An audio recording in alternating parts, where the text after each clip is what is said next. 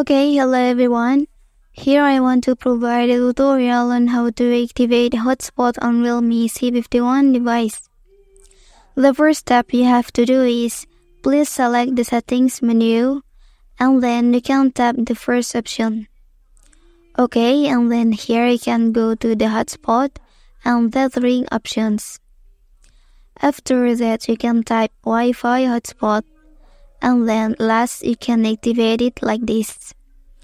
And then the second step is please scroll down the notification bar and then you can find out the hotspot icon here. Okay, after that you can tap to activate it. Then your personal hotspot will be active. Well, that's the tutorial on how to activate hotspot on Realme C51 device. Don't forget to subscribe for more information from this channel. Thank you.